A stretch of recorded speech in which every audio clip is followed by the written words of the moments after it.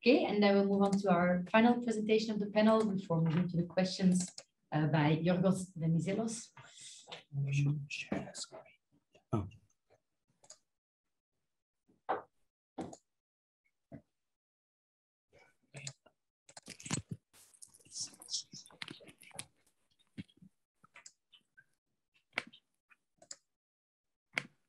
So, thank you.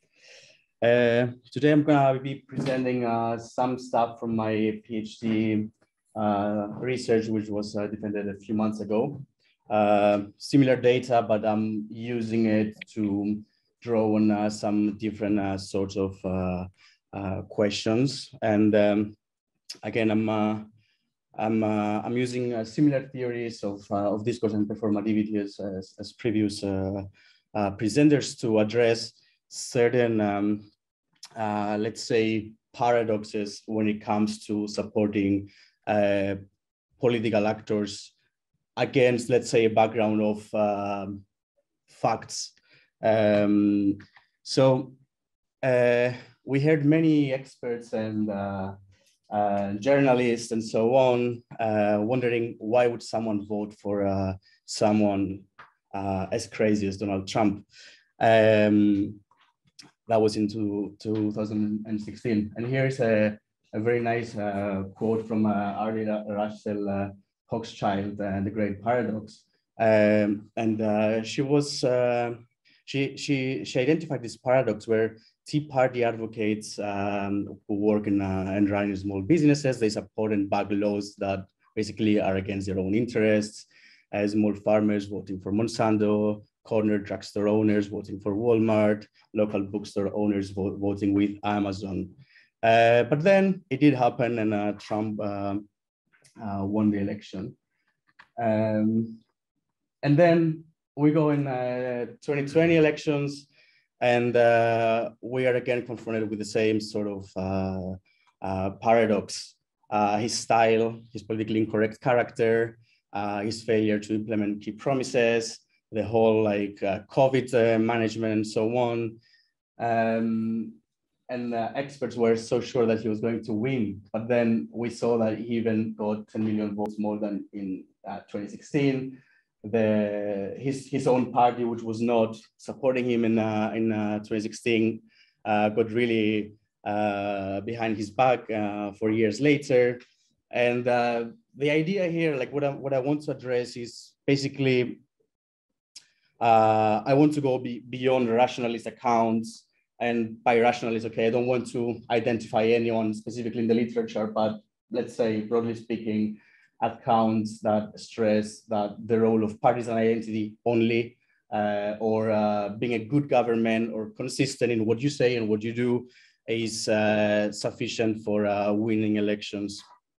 And uh, to do that, I'm, I'm drawing on, uh, on, uh, on some tools from uh, populism studies and not only. And uh, uh, basically, we all know that populism is about people centrism and anti-elitism in terms of the operational criteria, but what does this really mean?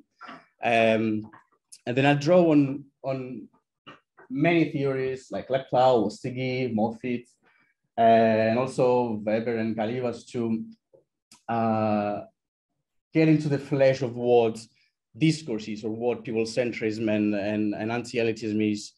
And uh, obviously it's not just rhetoric, but it's, it's a sort of, uh, it's a habitus, it's a way of, of behaving, of performing, of, uh, of, of being someone that people uh, can uh, connect with.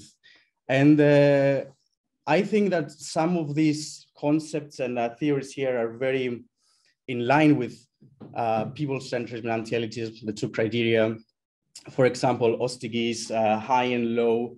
So uh, if you're low, basically you are sort of behaving in a popular way. Okay, that's different from populist, but we can discuss it later. But the important thing here is that you're opposing the high, the elitist, the technocratic, the anti-populist. And uh, this has to do not just with discourse saying, or like rhetoric saying, I hate the establishment, but it's certain uh, bodily gestures, demeanor, language, social markers, as uh, Ostiguy says, or as uh, Maria Casullo says, um, uh, some bodily choreographies. Um, uh, and this is very evident in Trump, but we'll see later, or as Moffitt says, bad manners.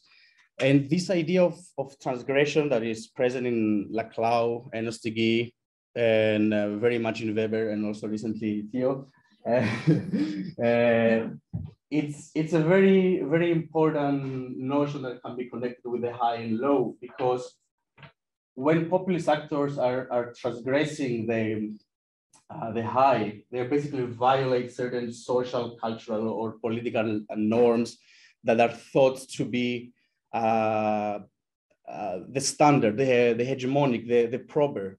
And uh, by doing so, they're, they're putting into question certain moral and symbolic authorities. This can be political uh, parties and uh, ideologies, very strictly speaking, but it can also be something more general, as we observed in, after the 2008 uh, crisis and the rise of populism.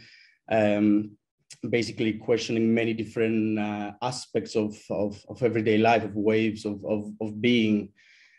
And obviously this sort of transgression and antagonism towards uh, the established um, ideas uh, as, as uh, Canovan uh, said it, of established ideas of, of a given era, uh, they're not just about dismantling uh, the hegemony, let's say, but it's also by about um, creating a new one, uh, articulating a new project, and um, uh, in Schumpeter's term, let's say it's like a, a creative uh, destruction.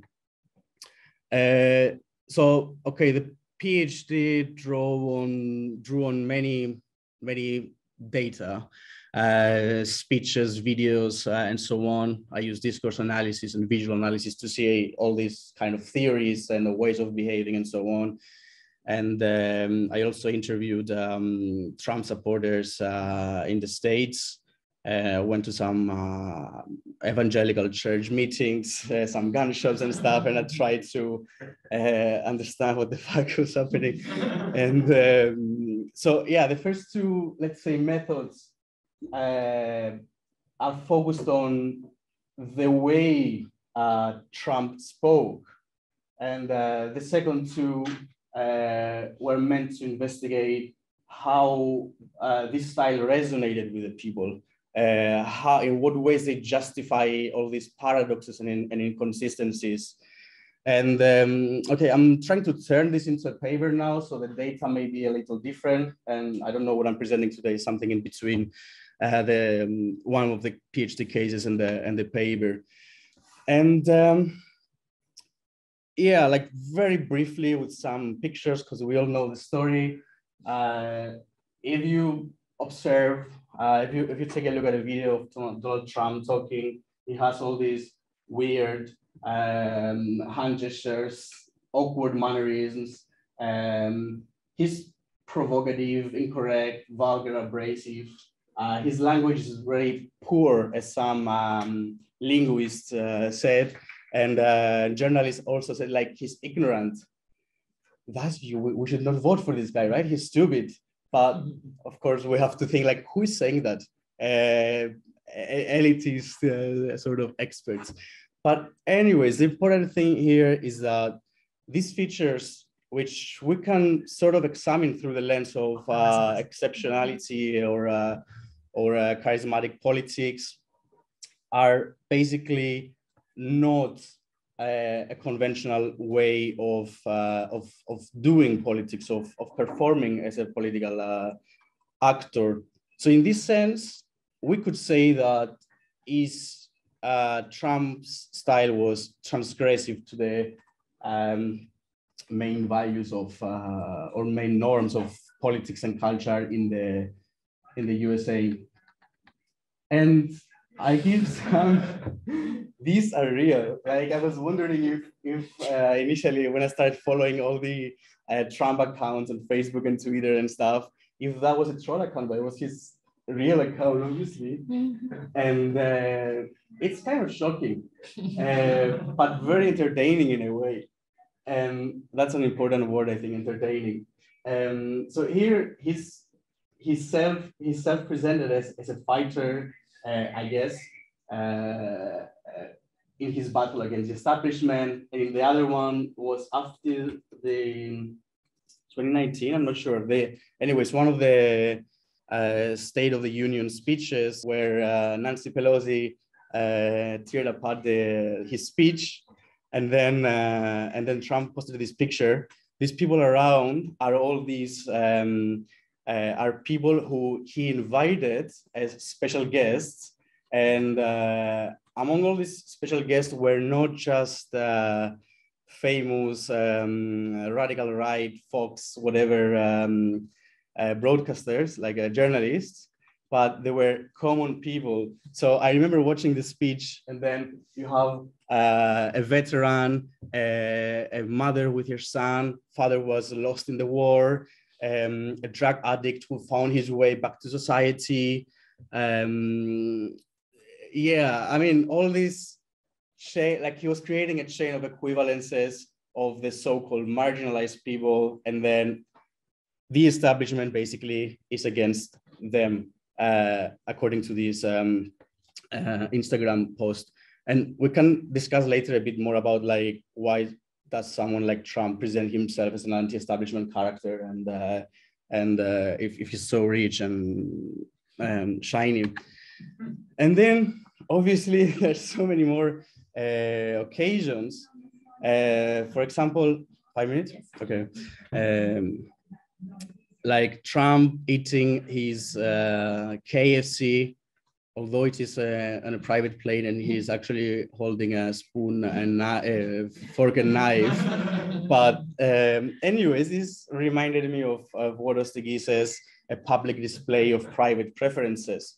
So again, according to this theory, uh, a politician should go out, uh, have um, a tie, behave well, but this guy is actually, I don't know, uh, eating like a common person, supposedly.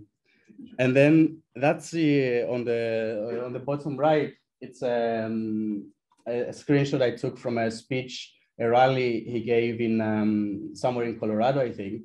Uh, well, the stage was was like that uh, you know, like to resemble the whole environment. And these, um, I think, can be connected to the notion of, uh, of authenticity.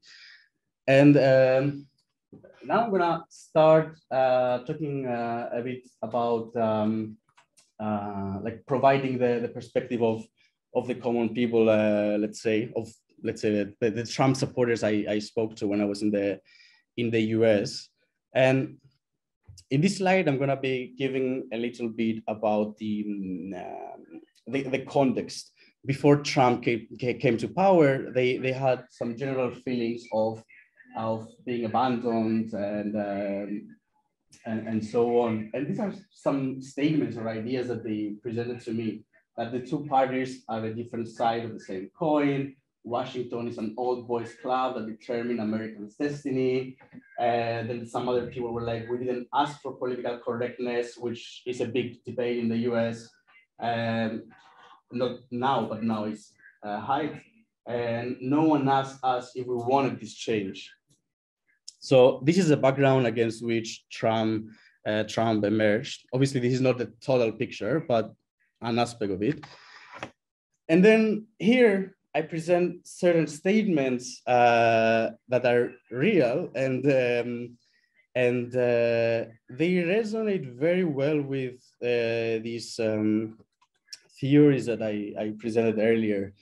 So uh, this guy, a young veteran, he was probably my age in Arizona.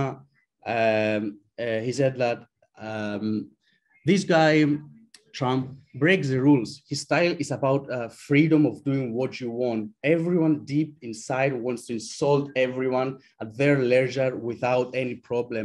This guy does that. And it's actually true, but we don't do it here because there's some sort of uh, norm, some symbolic values, and so on. And then, and also this guy was was was telling me about how he was uh, raised um, uh, with certain expectations of how to behave, conservative family and so on and so forth. Then Trump comes and uh, basically he says, I am doing what you are not allowed to do, what you were, you were not allowed to do all these years, but I'm giving you the right to do it because I am I am I am all over the, media and and uh, potentially your president. And uh, some other guy in Pennsylvania uh, found his style very refreshing. And by that, he meant that if you're crook, he calls you uh, crooked. This doesn't very, very often. And it was just like a casual conversation, you know, like he's very honest. Like if you're crook, you're, you're that, I call you that. Um, the next statement is about political correctness. Um, I don't want to disrespect anyone, but things like gender issues have become so exaggerated. If you address the wrong person in the wrong way, you can get in trouble. It, it can be career ending. Trump wants to end that. He doesn't believe in political correctness. He believes in freedom of speech. And uh, that's the, this last line is kind of interesting because uh, their understanding of freedom of speech and democracy and all these kind of things was so subverted, let's say. Uh, for example, there was this um, uh, guy who uh, did not identify as straight, but then he was also evangelical, and then he had problems with the Democrats for wanting to um, uh, punish the church for uh, I don't know, like they wanted to get some taxes out. I can't remember the case exactly, and he wanted to punish the church for being uh, something and something. But then he was like, yeah, but I am gay, but I am also evangelical, and maybe I may wanna marry one day and stuff. And then he thought that this whole idea was uh, against freedom of speech and so on. Another example is uh, about his style. Um, uh, is that this interviewee said uh, Donald Trump is so popular uh, Donald Trump is so popular because he's so alpha. Um, he interrupts everyone, uh, and that was actually fine for him. And all these kind of ideas that were not understood by his supporters as problematic or uh, improper or incivil, but uh, signs of strength and honesty and, and, and, and transparency.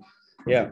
So I think there is some room for um, uh, thought here um, as to what uh, uh, the, the role of, of, uh, of, of, political style and performativity in constructing identities, but maybe uh, above all, um, the role political elites play in, in, in fueling such a mobilization uh, that can be on the, on the radical right, of course, um, but not only. But the thing here is that political elites, I think in the US, have failed twice, uh, both in 2016 and 2020, to uh, understand that their discourse and uh, and whole like arrogance was so uh, like basically fueling so much uh, reaction and uh, generating even more support for Trump.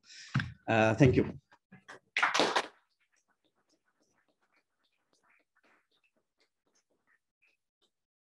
All right, thank you very much, Jonas.